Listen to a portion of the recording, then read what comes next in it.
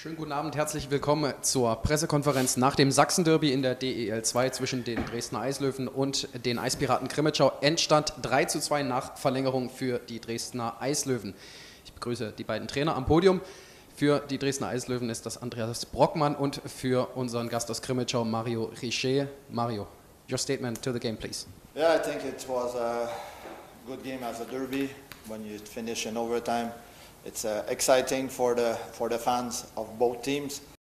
Uh, we uh, yeah we start okay, and after the two penalty, uh, turn the momentum for uh, uh, Dresden. We know they have a good power play. They have good player on that, and um, we, we cannot go on a penalty against them. They are they are very strong. So. Um, but after we came back in the second period and um, we keep, we work. That's uh, what I ask to the player to work and uh, keep going, uh, keep hoping that we can come back. That's the second time this weekend that we come back uh, from behind in the score. So we work. I'm proud of my player. We we don't have so many players. I have like I have forward who playing on defense uh, with all the injury. So I'm proud of them. I have uh, today I have a Oberliga third line who work very hard young player, but that's what we, uh, uh, I, I asked to them to work and work and work, and at least we uh, were happy to have uh, one point against that uh, good team of Dresden. Thank you. Ich äh, übersetze kurz. Ähm, es war ein äh, gutes Derby. Gerade wenn es in die Verlängerung geht, ist das natürlich auch für die, für die Fans was äh, Tolles. Da bekommen sie einiges äh, zu sehen.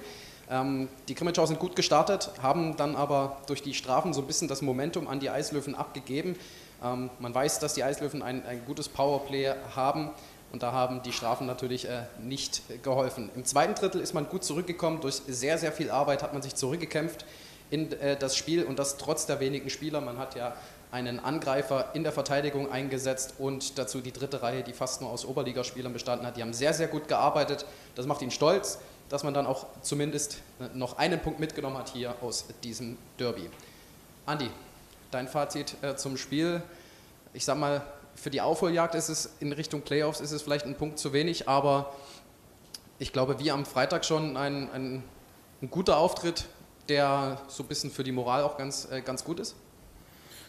Ja, auf alle Fälle, aber ich habe gerade zum Patrick gesagt, zu meinem Co-Trainer, vielleicht ist der eine Punkt Gold wert, weil wir sind zwar immer noch acht Punkte hinten, es sind aber noch elf Spiele und wir haben ein sehr schlechtes Torverhältnis. Und vielleicht ist der eine Punkt, wäre dann noch Gold wert. Aber zum Spiel, ja, wir sind rausgekommen und bis gleich 1-0 in, in Rückstand. Durch eigentlich keine Chance. Das tut natürlich weh. Ich glaube, wir sind dann besser ins Spiel gekommen, aber man sieht halt auch, warum wir die wenigsten Tore in der Liga geschossen haben. Ich glaube, wenn wir 4-5-1 am ersten Drittel führen, kann keiner was sagen mit Sicherheit hat der Torwart jetzt sehr gut gehalten, aber da müssen wir halt auch mehr, mehr hungriger sein und kaltschnäuziger. Zweiten Drittel haben wir dann ja, haben wir ein bisschen die Geduld verloren, waren wir 1-0 hinten. dann sind wir eigentlich ein bisschen vom Weg abgekommen. Es war dann zu viel rauf und runter. Wir haben zwar das 1-1 dann geschossen, aber wir haben viel zu viele Chancen hergegeben gegen Grimmitsch. Wir haben selber auch gute Chancen gehabt, aber wir sind eigentlich ein bisschen vom Plan weggekommen. Das letzte Drittel war dann eigentlich in Ordnung. Man muss auch die Situation jetzt sehen mit so vielen Spielen und Reisen.